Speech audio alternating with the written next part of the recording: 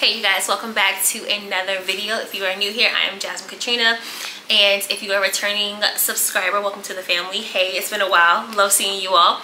Uh, today's video is going to be kind of like a mid-year check-in, a mid-year update, life update in a lot of ways. I just felt oppressed upon to make a video and describe and discuss a lot of what I think people are feeling as far as where I think a lot of us are in very similar seasons of life and that looks like a lot of transition, a lot of nerves, a lot of concerns and real fears. And I have been walking through some difficult emotional things and I thought I wanted to really bring it to my YouTube family and talk through some stuff and hopefully this video is encouraging you as I hope it encourages me. Um, and I just want all of us to be rooted in the things of God and I want all of us to know one you're not alone. Two you have community. Three our situations may be hard but God is so good and he's so faithful. And so usually I do these types of videos um, when I'm like on the other side of the storm and i have made it through the journey but I really thought it was important to share in real time kind of what I'm experiencing, what I'm facing, and just the ways I want to build upon and work through and press forward with you guys. So I hope you enjoy this video. I hope it resonates with anyone that might find themselves in similar situations. Um, but if you want to learn more and you want to dive in and keep watching. Okay, so first things first, I have some notes so that way I wouldn't be rambling and distracted. Um, you may see a little fur head. Onyx is right here by my feet. So if you see him hit the top of his head, he's he's right here, uh, my little bubs. But yeah, let's get into the conversation. So update, seasons of life, what's been going on. I talk a lot about this in my vlogs, how I'm just having a really hard time in my full-time job at work. And so if you guys don't know, I work in the nonprofit sector do y'all see hands? I work in the nonprofit world as a social media manager and marketer. So I've been in the nonprofit space my entire career, which is coming up on 10 years now, which is kind of insane. And in this career, I have had a lot of turbulent situations and experiences, more so because of poor management, toxic work environments, and work culture. And I am currently finding myself in that same space. And so let me back up. So uh, last year i kind of started feeling like i wanted to look for a new job. I kind of wanted to leave and and i wasn't quite sure but i remember praying and i remember feeling like the holy spirit said not yet. Like you need to stay. And i don't know if you all have experienced god the way i've experienced god or similarly but I have been working on being obedient quicker. So that way I don't have to learn these same lessons over and over and over again and so I remember praying and um, I was I felt like the Holy Spirit was like, no, don't leave yet. And I was like, dog, please let me go. Like, please let me go. And the Holy Spirit was like, no, there are certain situations and certain things I need you to learn while you're here. And um, I need you to work out the things that, I, that are in you before I can even move you to the next place. Um, and God's timing is perfect. You know, people see hindsight is 2020. And so at the time, I was like, okay, I'm just going to be obedient. I'm going to try to work on my inner person and be, and you know, re, like think through and be introspective and figure out what's me, what needs to change, and try to go through a, a perspective shift. And I got some of that. So towards the end of last year and beginning of this year, I have been really working through my own problems. So the goal here is to just continue to be and improve and be better. So with that, I didn't leave, um, but coming into 2024, I was praying and fasting all month of January. You all know I took some time off and I really sat with God and I was like, Lord, show me me. Like I know I am a problem. I know that I have pro problematic tendencies, but show me me and God. Whatever is in me that is not of you, remove it. and I don't think we often talk about how big of a prayer that actually is because when God does stuff like that, when God begins to like toil the soil and he begins to turn and till the work and he begins to pull things out of you, it is painful. Like I'm on, I feel like I'm on an open heart surgery table all the time. And God is still really good and he's still faithful and he continues to see his work finished in me and through me. And for that, I'm really grateful. So uh, fast forward to now, you know, the seasons of my work life have been incredibly topsy-turvy, very, very exhausted. Um, I have fallen off of my routine just as far as like my health goals and working out consistently, getting proper sleep, drinking enough water. Like a lot of my routines have fallen off because I think when you are in the trenches and you are fighting for your well-being in life, it is really, really hard when you're in it. And I just want to name too, like I thank God for my community because it is hard to do and navigate life by yourself I can't begin to imagine what it's like to navigate life without Jesus as my peace and the, the person that I have my hope in.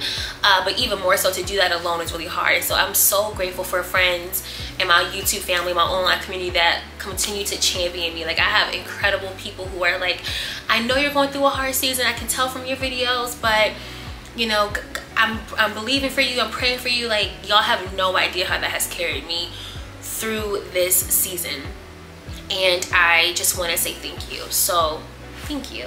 And, and that uh, community is really, really important. And so I often wouldn't want to vlog, but I just felt like, okay, if someone can get something out of this video, a win is a win. I'll take the win. I'll take the, I'll take it. But that leads me to this big point. So the point of this little video is that I wanted to talk through ways that I'm, I'm returning back to myself. Um, I think a lot of times seasons have a lot to do with it. Like winter, you want to be away from people, you don't want to do a lot. But when it comes to spring, it's like bloom. And, and now that we're approaching the summer months, I feel very energized to take control and take authority of my life and in my in my situations that I find myself in right so um, I just wanted to kind of name the ways and the things that I'm going to be doing as I'll be vlogging it and discussing with you guys as a way of getting back to the, the to me.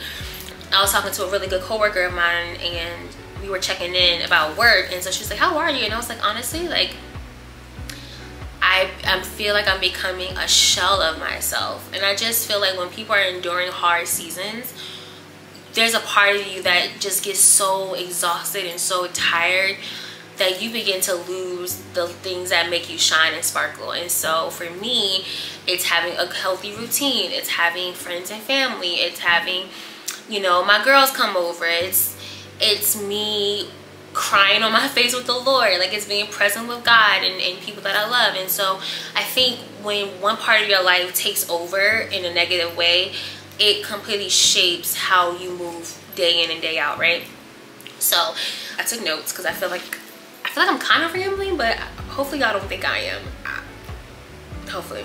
So I wrote down notes of like ways I want to transform or get back to me. I want to prioritize my wellness. And what I mean by that is that as, as I am navigating my workspace and my work life, I'm, I'm faced with some hard challenges and I'm faced with some difficult decisions I'm gonna have to make and I think I'm at a place in a space where I can say okay Lord I fully surrender this to you so if this looks like something that I would not have picked for myself I trust you. If this pans out in a way that doesn't feel like I would pick it I trust you. My hope is in you. My hope is not in my job. My hope is not in the finances. My hope in my heart and my prayers and my trust is placed on you. And so I have been clinging to the book of Psalms. I have been reading Psalms, I think since the top of this year, and Proverbs for wisdom and just really understanding what God has to say about certain things that are, you know, practical application. I think it all starts with a choice. I, I really do think that whoever is finding themselves in a hard season, we have to decide to want to to have our life look and feel different than what it is. I'm not saying that's easy, but I am saying that there's a choice that I have, I play and a choice I have to make for the way my life is shaped. I have a role to play in how I want my life to look and how I want my life to feel. And if there are things that are coming against what I believe the Lord wants me to do and navigate, I have a choice in that. Like, I can't, I think sometimes when you're dealing with hard stuff, we a lot, a lot of times we let life happen to us versus allowing ourselves to choose how we want to live. I hope that makes sense. But yeah, I think it comes with a decision. And so I've made some decisions before the Lord. i am you know, about to fast and pray about some stuff. And I have some decisions to make. And I think whatever decisions I come to, the reality is for any of us that are facing hard seasons, it's a choice that we we need to make and it's a faith that we have to place our hope in the Lord and he really does see things from the beginning, the middle and the end. And he who is all knowing and all powerful knows what we need when we need it. And so i'm just believing god for his perfect timing and that everything else will come into into alignment with that. So that's a little bit of the life update. Um so now let's talk about just ways i've been getting through this hard season and hopefully this can be encouraging to you. And also what i'm going to do going forward to navigate the choices that i think i have to make and how i want to make them so I mentioned uh, community and I mentioned fasting. And so a lot of the ways I've been able to navigate a lot of this the last few months or the first half of the year really has been through crying, through worship, through prayer, and through my community. Uh, I am very, very, very blessed to have family members like my parents and my sister and my brothers. Um, I'm very, very blessed to have friends from college and high school and in church that love me and that keep me at the top of their mind and that check in on me and so I would not be standing if I didn't have the community that I have around me.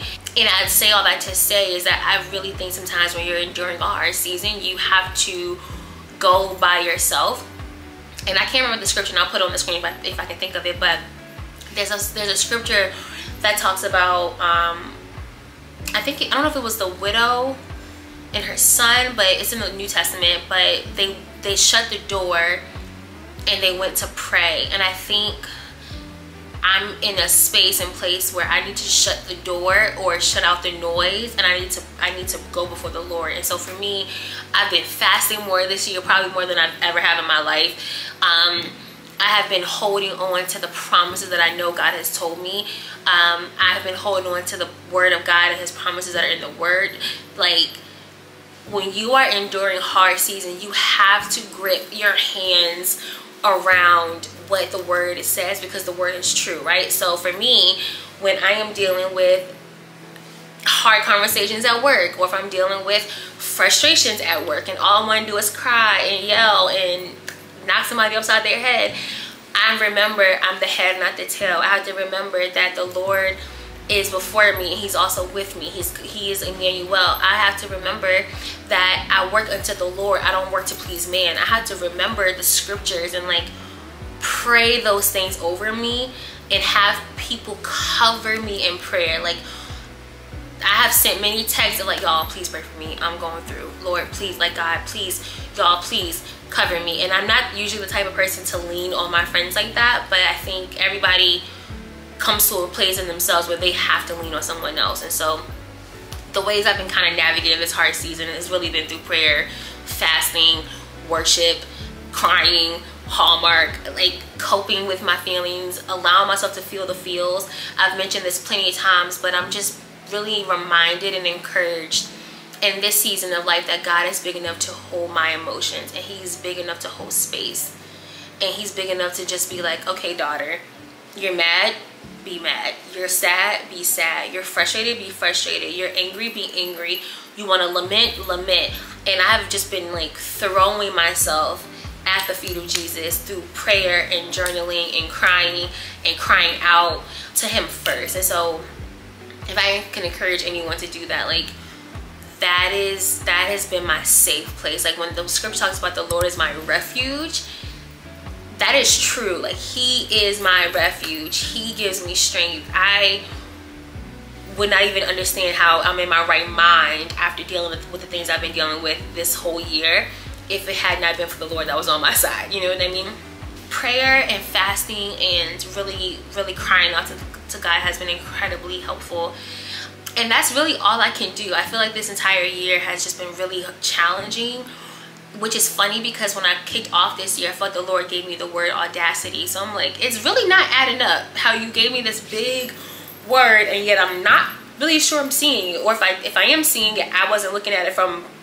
a perspective of, aud of audacious boldness and courage. Like I'm just feeling like I'm getting tossed left and right, you know? but his, his, his promises are yes and amen and i really believe that you have to sometimes remind yourself and encourage yourself in the promises of God. And you have to remind yourself and encourage yourself that He's true and that He's for you. He's not against you and He's not here to harm you, but to prosper you. Like, it ain't easy, you know? And so anyway, going into what I'm gonna do over the summer. So I thought about this and I was like praying about it a little bit. And I'm starting to feel like I'm back to my old self. Like I feel like I'm coming up for air for what feels like the first time this entire year and I just feel like I need to get back into some routines and so with the summer being here everyone's in a great mood the sun's out it's shiny it's warm like people are in a good mood and good spirits and so I want to use this summer to really go deep in my routines. It looks like establishing a better morning routine establishing a better evening routine. I know a lot of, a lot of people right now want to be like they want to be runners and I kind of want to just try new fitness activities. I want to try new hobbies. I want to get out of my comfort zone in my life and I think that starts with how I show up. Like I'm always talking about in my vlogs like my room is a mess my house is a mess but like we gotta stand on business you know what I mean like we need to be able to to stand on business so I've been purging my home I've been decluttering my home I've been deep cleaning my home I want my house to reflect the woman that I want to be. I want my life to reflect the woman that I'm becoming. I want my heart and my mind and my body to be in alignment to who the Lord has called me to be and nothing right now reflects that. So I am actively working on purging and not spending and eating healthier and not eating out as much and drinking my water and getting adequate sleep and stretching and moving my body like really thinking about who God has called me to be and how do I begin to show up as her has been really the resounding theme this last couple of weeks. And I am really really excited to take you guys on that journey. I'm I'm praying that this will just encourage you. I'm praying that this would just remind you that God is for you I'm very excited to start video recording and like taking you guys along the process however with all that said I just wanted to hop on camera and talk about, yeah, like people are in hard seasons and it takes nothing to be kind and it takes nothing to really pray for people. And so when I say I'm really praying for y'all, like I'm really praying for y'all. Praying for your mind. I'm praying for your, your wellness. I'm praying for your health and your peace. I'm praying for your soul to prosper. I'm praying that the Lord will be with you, that you won't feel forsaken, that he is for you, not against you. I am praying God's best over you. And so I just wanted to come on here with no real agenda other than to say I completely understand that if you are facing a hard season, if you are in the middle of making really tough decisions, if you are in the process of trying to figure out what way to go, which way is right or wrong, up or down, you know, you want the peace of mind, you don't want to feel like you're out of God's will, I, I get it. I understand that. I live in that tension and I've been living in that tension for the last few months. And my only encouragement is that I place my hope in the one that knows it all. And for me, that is Jesus Christ because where would I be without him? And I hope for you, it's him. I hope that you can take a, you can look at this video and be like, wow, one, I'm not alone. Two, I'm in community with her because I'm a part of her, her YouTube fam so she gets it and then three if he can do it for someone else surely he can do it for me like he's no respecter of persons and so i don't know i just wanted to kind of come on camera and talk to you guys about that i'm not sure who this might be for it's definitely for me. I want to be able to look back on this and be encouraged by myself for myself. Uh, but seriously i just wanted to talk through how i've been navigating hard seasons and how i have been working to continue to prioritize myself.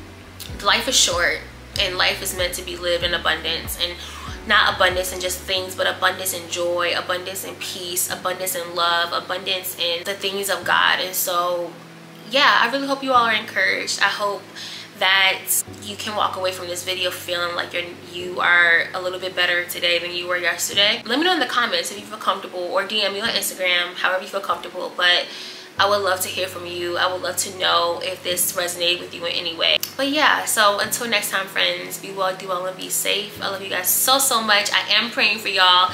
I'm praying you have a wonderful start to this new month of June. By the time this video comes out, it's June. I can't believe we're already halfway through the year.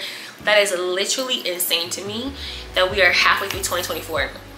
But I am so excited that we have six more months to see God move. And if there are promises that you feel like the Lord has told you, there are six more months for God to do the things that He said He was going to do.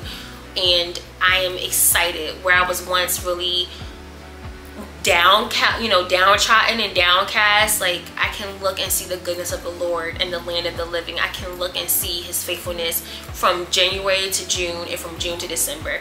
So i love you guys so so much. Thank you so much for watching and until next time be well do well and be safe. And i'll catch you in the next video. Bye